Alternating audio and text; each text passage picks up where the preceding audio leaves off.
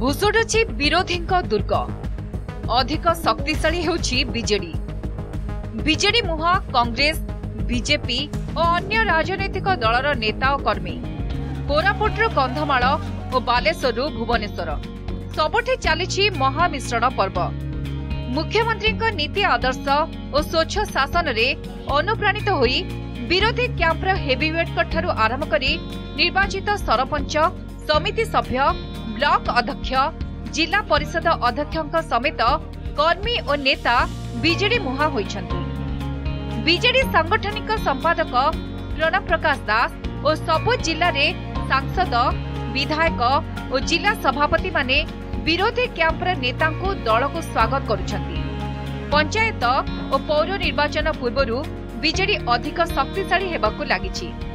ବିଭିନ୍ନ ସ୍ଥାନରେ ହେଉଥିବା ମିଶ୍ରଣ ପର୍ବରେ ଶତାଧିକ ବିରୋଧୀ ନେତା ସାମିଲ ହେବା। ଦଳ କେତେ ସ୍ୱଚ୍ଛ ତାର ସଂକେତ ଦେଇଛି।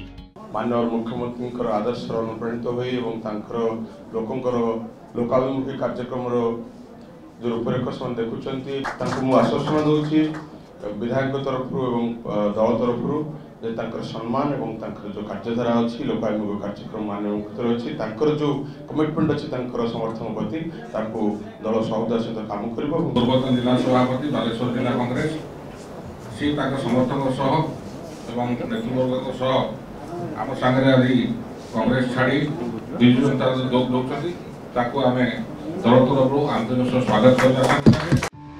ସେହିପରି ଆଜି ଦଳୀୟ କାର୍ଯ୍ୟାଳୟରେ ଆଳିର ସାନମଙ୍ଗ ସରପଞ୍ଚ ପ୍ରୀତିରଞ୍ଜନ ରାୟ ଓ ସତୁରୀ ସମର୍ଥକ ବିଜେଡିରେ ସାମିଲ ହୋଇଛନ୍ତି।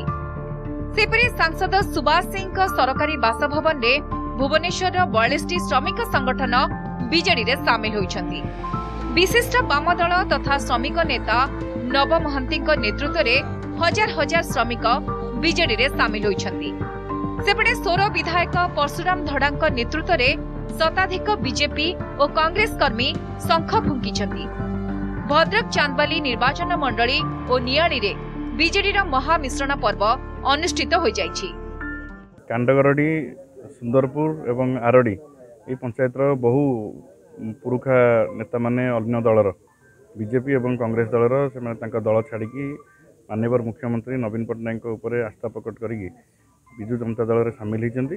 ମୁଁ ସମସ୍ତଙ୍କୁ ସ୍ୱାଗତ କରୁଛି। ଏବଂ ଆମ ଓଡ଼ିଶାକୁ ଆଗେଇ ନେବା ପାଇଁ ମାନ୍ୟବର ମୁଖ୍ୟମନ୍ତ୍ରୀଙ୍କ ହାତ ମୁଠା ଟାଣ କରିବାକୁ ଶହ ଶହ ସଂଖ୍ୟାରେ ଅନ୍ୟ ଦଳ ତଥା ବିଜେପି ଓ କଂଗ୍ରେସର ସବୁ କର୍ମୀମାନେ ଭାଗଧାର କର୍ମୀମାନେ ଆଜି ଆମ ସାଙ୍ଗରେ ଯୋଗ ଦେଇଛନ୍ତି ଓ ସହଡ଼ିଆର ପଞ୍ଚାୟତରେ ଏକ ମହାମିଳନ ହୋଇଛି।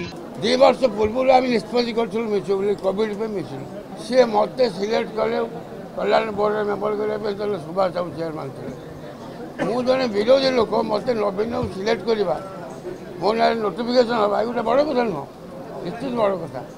ମୁଁ ଦେଖିଲି ଏ ଲୋକ କିଏ ବିରୋଧୀ କିଏ କ'ଣ ସେଇଟା ନୁହେଁ କିଏ କାମ କରୁଛି ଯାଉଛନ୍ତି ତାଙ୍କର।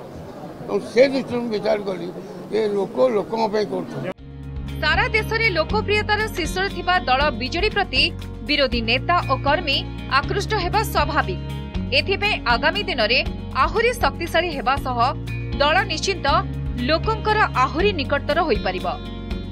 ଆରଡିରୁ ବାବାଜୀ ପାଢୀ ନିଆଳିରୁ ରଘୁ ଆଚାର୍ଯ୍ୟଙ୍କ ସହ ଭୁବନେଶ୍ୱରରୁ କ୍ୟାମେରା ପର୍ସନ ଭବାନୀ ମଲ୍ଲିକଙ୍କ ସହ ଚିନ୍ମୟ ମହାପାତ୍ରଙ୍କ ରିପୋର୍ଟ ନନ୍ଦିଘୋଷ ଟିଭି